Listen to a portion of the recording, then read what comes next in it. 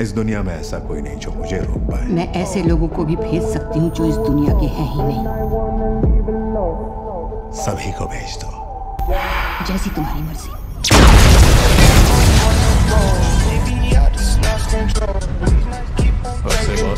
दुनिया में दहशत फैलाई है।